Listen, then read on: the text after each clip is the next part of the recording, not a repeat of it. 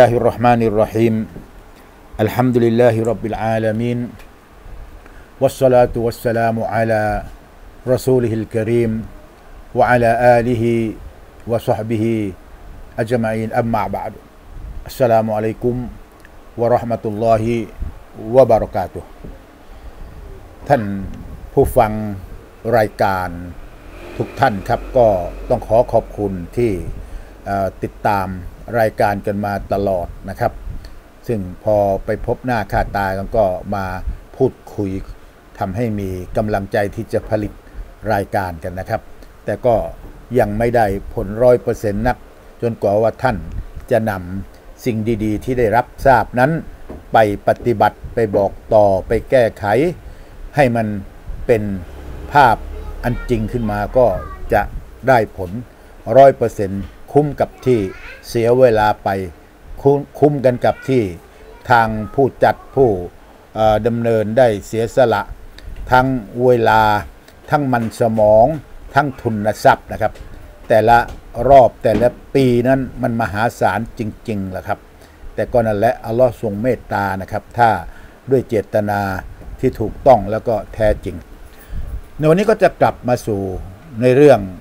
ของอัลลอฮ์สุบฮานะฮูวตาลาที่มันมีการใจจดใจจ่อหรือว่าสงสัยนะครับ จนกระทั่งไม่เกิดความขมีขมันขึ้นมาในหลายครั้งนะครับ เพราะว่าเรื่องของพระผู้เป็นเจ้าเหมือนกับความลึกลับ แต่ความจริงมันไม่ใช่ลึกลับนะครับ เปิดเผยหมด โดยเฉพาะในคำสั่งคำสอนที่เป็น อายะต่างๆ อยู่ในอัลกุรอานชัดเจนทุกเนื้อถ้อยกระทงความนะครับ ทีนี้เราก็อ่านแหละครับ แต่ไม่ทราบว่าอ่านแล้วจะทำใจให้ศรัทธาตามที่อ่าน เข้าใจลึกซึ้งตามที่ได้สัมผัสนั่นหรือไม่นะครับ เพราะหนึ่งเราไม่ใช่เจ้าของภาษาอาหรับพออ่านแล้วก็ยังต้องแปล และแถมการแปลก็มีหลายรายการที่เอามาแปลมาขยาย ก็จะต้องดูด้วยว่า ที่แปลหรือขยายความนั้น เป็นไปตามหลักของอาลุสซุนนะวัลจามะอะฝ่ายเดียวเท่านั้นนะครับ ที่จะยึดถืออาลุสซุนนะวัลจามะอะแปลด้วยกับเอาอัลกุรอานมาขยายกันเอง แปลด้วยกับเอาฮะดีษที่ถูกต้องมาขยายอายะกุรอานนั่นถูกต้องตรงที่สุด ส่วนเรื่องเล่ากาวหรือความเข้าใจที่เอามาใช้กันก็ ถ้ามันไม่มีจากกุรอานด้วยกัน จากฮะดีษด้วยกันก็ไปดูรุ่นที่ใกล้ชิดที่สุด ที่น่าจะตรงที่สุดก็คือรุ่นของสฮาบะอบูบักอุมัรอุสมาน อาลี เอามาเป็นบรรทัดฐาน แต่ถ้ามีอยู่แล้วก็ไม่ต้องไปวินิจฉัยหรือเทียบอันใดอีกก็เป็นไปตามนั้นสะดวกและก็ง่ายได้ อย่างกับในอัลกุรอานนี้ได้บอกไว้หลายประการเกี่ยวกับคุณลักษณะหรือพระนามของพระองค์นะครับ ก็บางทียังไม่เข้าใจลึกซึ้งก็จะต้องมาแปลจะต้องมาเทียบ จะต้องมายกตัวอย่างไม่ได้ครับ ได้อย่างเดียวคือบอกคำแปลของนามนั้น หรือลักษณะนั้นว่ามันแปลว่าอะไร และพอแปลออกมาแล้ว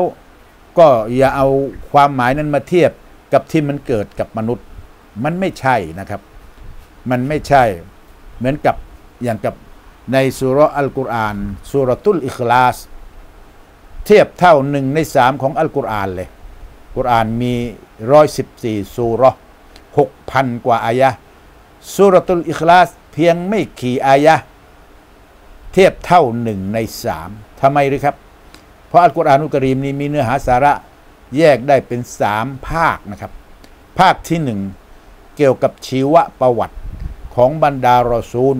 บรรดาอุมมาของรอซูลเหล่านั้นคือประชากรของรอซูลเหล่านั้น บรรดาคนดีคนชั่ว คนดีได้รับการตอบแทนที่ดี คนชั่วก็ถูกลงโทษ ได้แจกแจงไว้อย่างนั้น เป็นส่วนหนึ่ง นั่นก็คือกอซอสส่วนที่สองที่ไม่ใช่ชีวประวัติก็เป็นเรื่องข้อชี้ขาดชี้ขาดฮาลานฮารอมนะครับ ก็อยู่ใน พระมหาคัมภีร์อัลกุรอาน ส่วนที่สามสำคัญยิ่งไม่น้อยไปกว่าสองส่วนนั่นก็คือ เรื่องของจิตใจเรื่องของหลักศรัทธาเรื่องของอากีดะโดยเฉพาะอากีดะตุตเตาฮีดถูกระบุไว้ในสุรอนี้ตรงๆเลยนะครับ ทั้งทั้งสามรายการของเตาฮีดนะครับ เพราะว่ามียิวหรือยาฮูดีคนหนึ่งที่มา ท้าทายท่านนาบีศ็อลลลอฮุอะลัยฮิวะสัลลัมเหมือนกับว่าจะท้าทายถามแล้วก็ตอบไม่ได้ นบีก็สิ้นท่าต้องขายหน้าแล้วก็พ่ายคิดเอาเองอย่างนั้นนะครับ หารู้ไหมว่า นบี صلى الله عليه وسلم นั้น เป็นศาสนทูตของอัลลอฮ์ท่านไม่ได้พูดเองوما ينطق عن الهوى إن هو إلا وحي يوحىที่มาสอนที่มาบอกที่มาอ่าน เป็นคำสั่งจากอัลลอฮ์เป็นวะฮีลงมาทั้งสิ้น เขาก็บังอาจนะครับ มาท้าเยะฮูดผู้หนึ่งนะครับ ได้บอกว่ายามุฮัมมัดซิฟละนารบบักยามุฮัมมัดซิฟละนารบบักนี่มุฮัมมัดมาเรียกร้องไปสู่พระเจ้า มาเรียกร้องไปสู่การเคารพ พักดีพระเจ้า บอกลักษณะของพระเจ้ามาให้เห็นสิเหมือนกับจะว่าเหมือนกับว่าท้าทายแล้วก็จะทำให้นบีสิ้นท่า เพราะตั้งแต่ต้นดูเรื่อยมาไม่เคยบอกถึงรูปประพันธ์สันฐาน หรือจะยกตัวอย่างเปรียบเทียบอย่างกับศาสนิกอื่น ก็ไม่มีนะครับ อิสลามห้ามโดยซ้ำไป นบีก็เงียบแต่นั่นแหละครับ ศาสนทูตก็คือศาสนทูต ได้รับคำสั่งยิบรีนลงมาบอกเป็นวะหรือวะฮี หลังจากที่ถามนั้น ก็ตอบว่า คุลฮุวัลลอฮุอะฮัดมุฮัมมัดกุลนี่ เป็นคำตรัสที่ชื่อถึงว่าคำพูดนี้มุฮัมมัดไม่ได้พูดเองถูกใช้ให้พูด กุลกอลายากูลกุล เจ้าจงบอก เจ้าจงพูด เจ้าจงประกาศ ไปเลย กุลฮุวัลลอฮุอะฮัดพระองค์คืออัลลอฮ์เห็นไหมครับ เดี๋ยวจะถามอีกว่าอัลลอฮ์แปลว่าอะไร พระองค์คือพระผู้เป็นเจ้าที่คู่ควรแก่การเคารพ นับถือสักการะกราบไหว้ที่แท้จริงฮุวัลลอฮุอะฮัดเป็นหนึ่งเดียวไม่มีสองอัลลอฮุลวาฮิดุลอะฮัด หนึ่งเดียวไม่มีสองเท่านั้น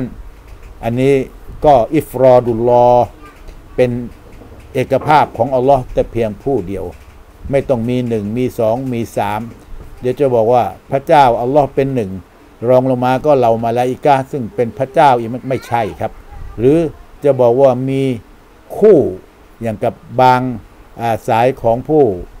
ที่มีนับถือศาสนาบอกว่าอัลลอฮ์นั้นมี คู่ครองเหมือนกับอ้างนางมารยมว่าเป็นคู่ครองของอัลลอฮ์ก็เป็นการตอบไปในตัวเลยจากอายะนี้กุลฮุวัลลอฮุอะฮัดจากสุรานี้นะครับอัลลอฮ์หนึ่งเดียวนะครับอัลลอฮุซอมัดลักษณะต่อมาก็คืออัลลอฮ์นั้นทรงเป็นที่พึ่งของโลกทั้งมวลโอ้โห ใหญ่ไหมครับ ใหญ่ สมคำที่ถูกชื่นชมว่า อัลลอฮุอักบัร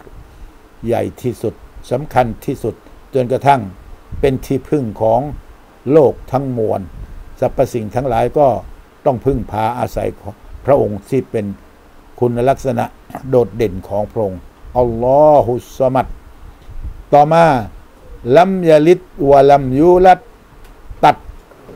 ความเชื่อที่บอกว่าพระองค์ มีคู่ครองมีครอบครัวไปเลยนะครับลัมยาลิดพระองค์นั้นไม่ให้กำเนิดประสูติใครนะครับวลัมยูลัดเราก็ไม่ถูกคลอด ไม่ถูกประสูติอีกเหมือนกัน นี่คือลักษณะของพระเจ้า เอ้าแล้วจะเกิดขึ้นมายังไง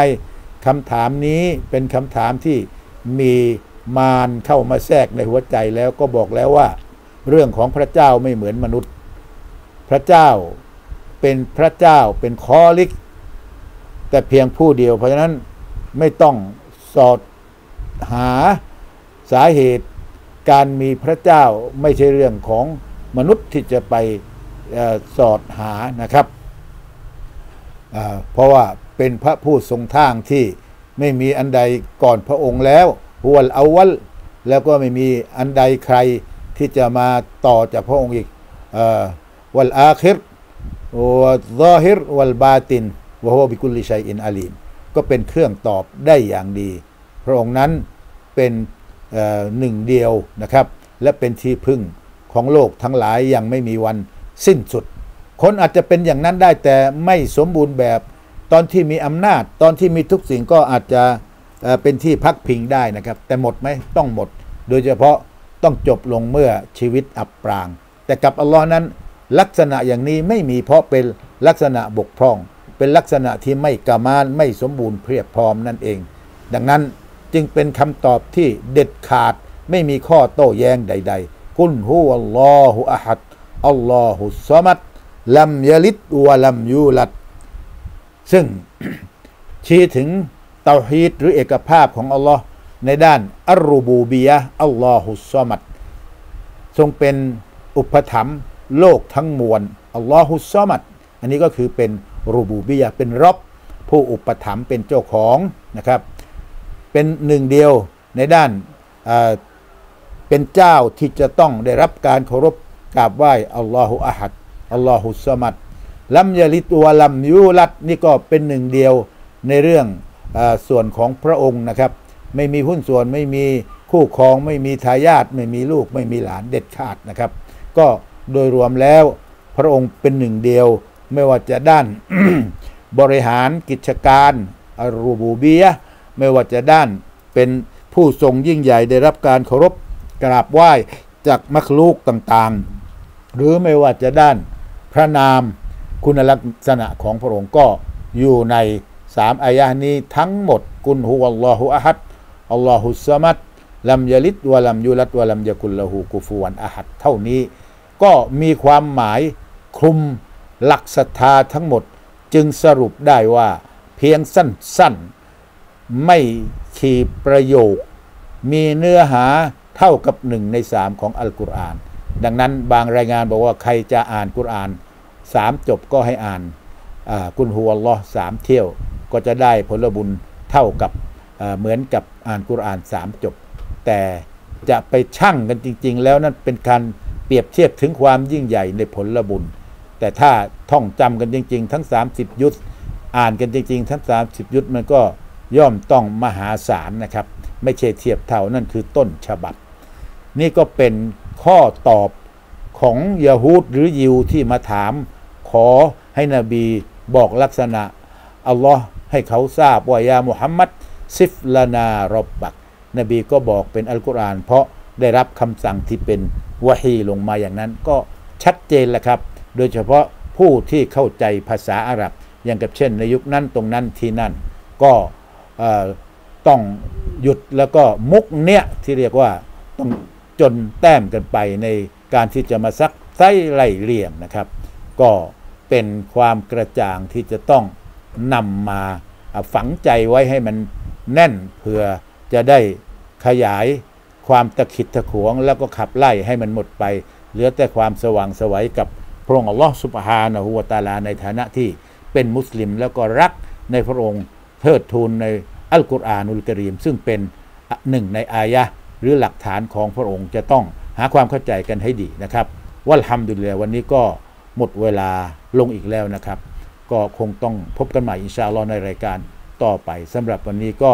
وبالله التوفيق والهداية وصلى الله على نبينا محمد وعلى آله وصحبه أجمعين والحمد لله رب العالمين والسلام عليكم ورحمة اللهวะบะเราะกาตุฮ์ที่จบไปแล้วเป็นอาจารย์อับดุลกอนีบุญมาเลิศผลิตรายการโดย สถานีวิทยุเสียงสันติ คลื่นความรู้สู่ผู้ศรัทธา สื่อบริการสาธารณะ สื่อที่ไม่มีโฆษณา ร่วมสนับสนุนการทำงานศาสนาได้ที่